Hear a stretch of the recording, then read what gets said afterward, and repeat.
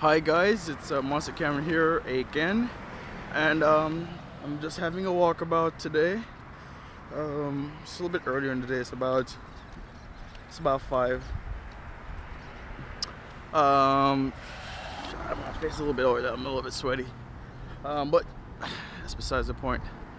Uh, today I just want to, you know, I just want to put my uh, thoughts out there about uh, Nokia and I know a lot of Americans um, they don't really know about Nokia because this is not such a uh, not such a big brand name in the states.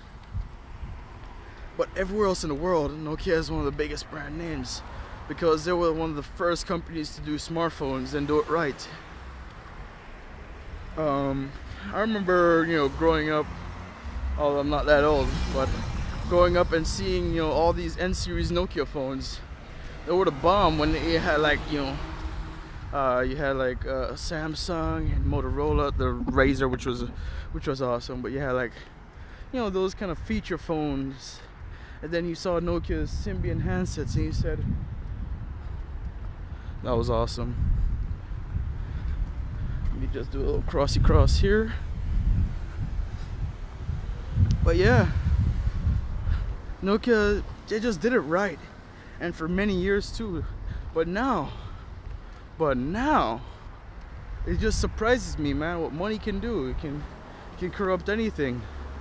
They brought in this, uh, well, uh, they say he's Canadian, but I don't know.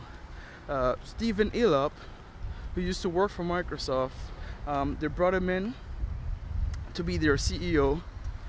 And then he turns around and he uh, pimps Microsoft products um, to Nokia. So their own in-house Symbian OS, which is fairly stable, fairly solid, very good performance, even on like single core.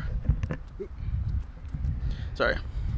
And uh, there's um, MeeGo, uh, MeeGo Moblin, whatever you want to call it, whatever it was, which was a pretty good phone. There's um, uh, Phone OS, there's Maemo as well, and they just decided to axe them. Uh, you know to to to lessen their roles uh, as uh, as a part of Nokia's future. And I think it was just dumb. So they they went from a self-reliant company that did their own software, their own hardware, to one that depends on another company to, to provide them uh, support. And although they're getting a lot of money in the deal, it just just feels wrong, man.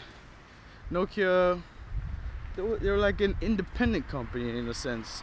I don't know how the business side of it works, but they were their own company. They they had their own software, their own ecosystem, their own hardware.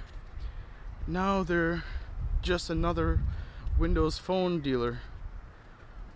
And then there are the people like, oh, Windows Phone is awesome. It's more stable than, than Android and all that shit.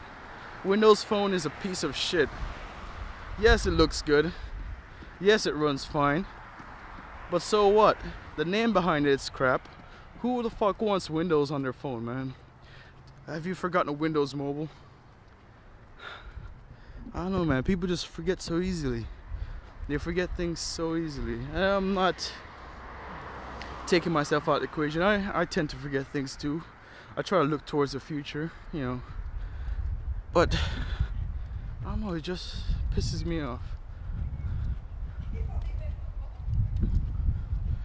Um, what else? Uh, let's talk a little bit more about MeeGo too. Um, yeah, I had an N900 if you saw my video there. Awesome phone, had Maemo OS. One of my favorite um, handheld devices ever.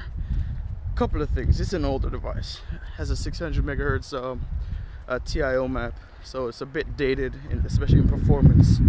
Although um, a lot of the programs are, you know, very well optimized. Um, but yeah, then the advent of MeeGo, I I've still yet to get that MeeGo phone, the N9 or the N950, uh, partly because they're so expensive. So that's a, that's a bummer.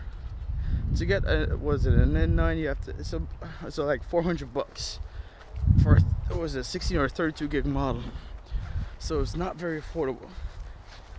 Not saying that other phones are, are more affordable or should be uh, cheaper because of what it is, but yeah, they're they're expensive for what it offers. And then there's the 808 PureView. That's it's all those Symbian. There's there's a reason I brought up these two phones because those are the best uh, devices, hardware that the Nokia has. Their N9 and their 808 because the Lumia 900, although it's the same, pretty much the same as the N9 in terms of physical hardware, except for the processor and the software is different. Uh, you know, one being Maemo, uh, MeeGo, one being um, Winmo. Um, yeah, and the one being a Snapdragon, one being o- OMAP. But yeah, the 808 PureView and the N9 are so much better than the, the rest of the, the hardware that they have. So I don't know why they decided to um, to cut it, or not cut it, but not necessarily advertise it as much as the millions they spend on advertising those POS uh, Lumias. I just don't get it, man. Microsoft, waste of time. Uh, you know what? I shouldn't be hating on Microsoft to be honest, because they've done a lot of cool shit. A company with no experience in 2000 just, although they had a lot of money, they pushed Xbox into the market and became a success. So, and their Windows uh, software gained uh, a lot of success. You know, the most widely distributed um, desktop operating system for home users. So it's not like they're a bad company. They've done some cool shit in the past. Um, but sometimes, you know, you should know your limitations. And uh, I don't know, maybe if they just, maybe a name change. Maybe not Windows Mobile, maybe something else. But they did try that. What am I talking about? They did try it. They tried it with Kin. two months and it was uh, uh, off. Um, two months and they took it off the line. They did try it with Kin. I don't think Microsoft truly understands the mobile space. But you know, who am I to say that?